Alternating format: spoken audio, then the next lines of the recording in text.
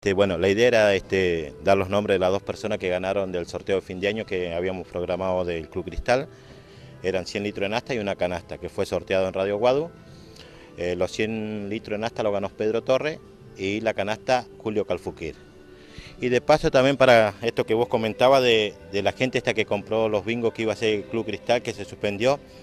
Este, a esta gente Emil se le vendió los cartones Hemos puesto comunicado por radio, no ha aparecido, este, y quería dar los números de los cartones para que la gente que tenga, que por favor eh, vaya al sábado o que vaya al sábado a la cancha con el cartón comprado que compró y, nosotros le devolvemos la plata. Tenemos la plata guardada ahí esperando que, aparezcan porque no es plata nuestra.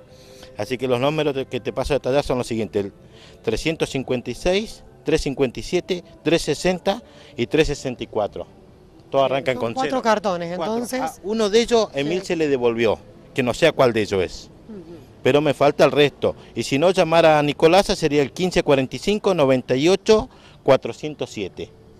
Pero si no, los invito para el sábado, que jugamos justo acá de local, este, que vayan con el cartón y se le devuelve la plata. Que por favor, este, la gente que tenga esto, que se arrime y, y le queremos devolver esa plata, pues estamos esperando, como dije desde un principio. Sí, recordar que fue el bingo del año pasado, que no, fue un bingo que se pudo realizar. En, en, octubre, que no se pudo realizar por no haber llegado al, monto del premio que se había estipulado, entonces hubo que suspenderlo, porque no había garantía de, entregar ese monto de plata.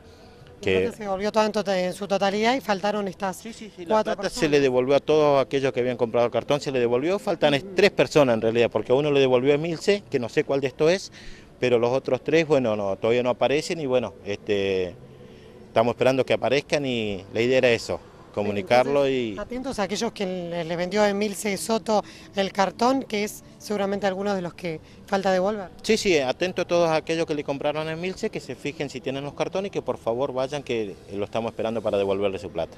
Bien, ¿el club cómo está trabajando por estos días? Y el club bien, bien, eh, ahora el sábado a partir de las 14 arranca el el encuentro, este, los chicos vienen, vienen bien, este, se está entrenando bastante bien, así que y ahora justo viene el receso, así que bueno, ahí pararemos un par de días y haremos una mini pretemporada para ya seguir la segunda fase. En realidad ya la estamos jugando, pero bueno, después ya arrancaría la segunda fase desde lleno.